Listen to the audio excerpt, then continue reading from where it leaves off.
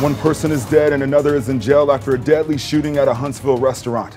Thanks for watching WAAY 31 News at 10. I'm Rob Sneed. The shooting happened last night at Twin Peaks Restaurant on University Drive.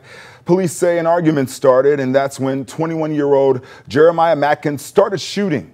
Decatur resident Rayshawn Bates was killed in that shooting. First responders took two other people to the hospital, and police arrested Matkins and charged him with murder. Aaliyah also tells us that an off-duty officer from police, Huntsville police officer rather, was involved in that shooting, and that officer worked as a security for that restaurant. Investigators say the officer shot their gun when the shooting started, but that gunfire didn't hit anyone.